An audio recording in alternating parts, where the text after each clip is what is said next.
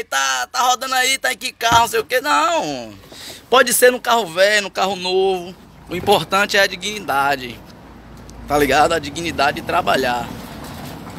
Tô aqui nessa viatura Fala minha rapaziada, como é que estão vocês? Estão tranquilos? Hoje nesse vídeo eu vou mostrar pra vocês que Leandro, que fazia parte da banda Companhia do Capricho, reapareceu e foi alvo de críticas. Eu vou mostrar tudo isso e um pouco mais pra vocês logo após a vinheta. Aqui quem fala é Emerson, você está no canal Emerson Isley, roda a vinheta e vamos a o vídeo.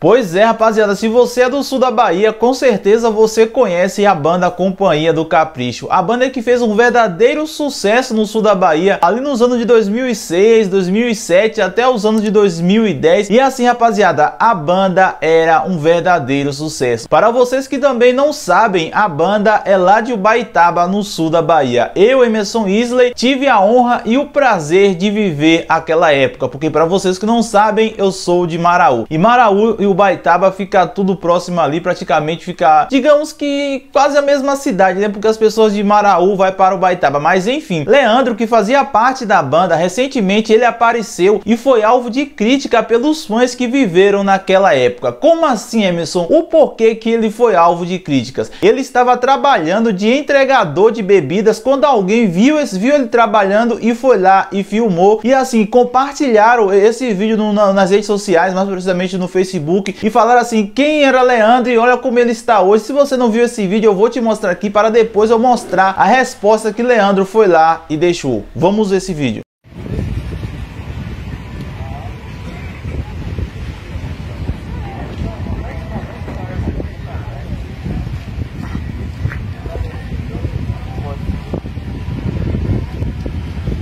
A praia é ruim.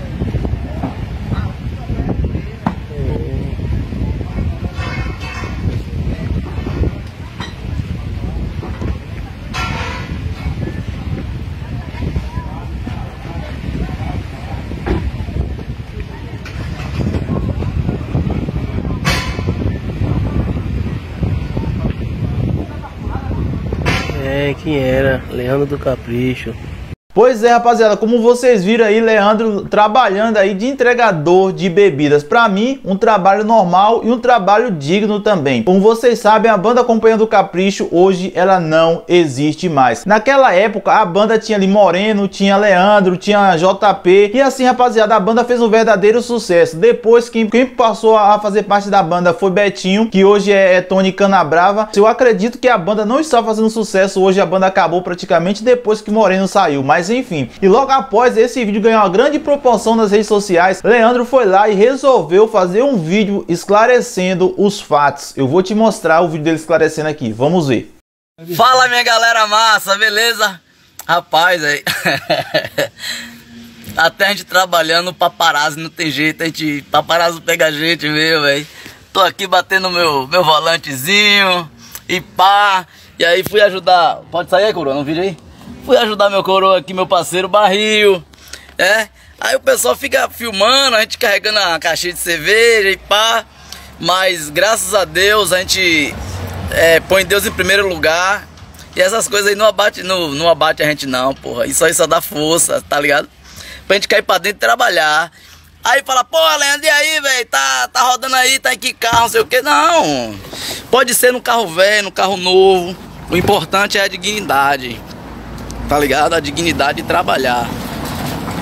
Tô aqui nessa viatura, nessa viatura velha aqui, ó. Dando aquele um dois aí. Pra quem não conhece aqui, é a Pituba, Tacaré. Beleza? Tava trabalhando na, na Bloco lá em Baitaba, mas infelizmente não deu certo.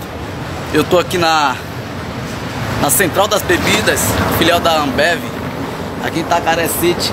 Aí tava batendo na caixinha ali, rapaz, o cara paparazzo veio e aí tirou a foto, fio, fez um vídeo, pá. E aí, Léo do Capricho, pá, batendo na caixa de cerveja. Rapaz, eu tomava tanta cerveja. Graças a Deus tem quatro anos que eu parei de tomar cerveja. E aí agora eu só carrego a cerveja pra galera tomar. um abração pra essa galera massa de Ubaitaba. Um abração pra todos aí que foi junto com o Léo do Capricho, com o Léo aí de Ubaitaba, Léo da galera. E tamo junto. Um abração aí. E fique com Deus. E o paparazzo, velho, vai procurar fazer alguma coisa, porque eu não sou mais do capricho, não. Agora eu sou da central da bebida, papá. Aquele abraço de gaiada.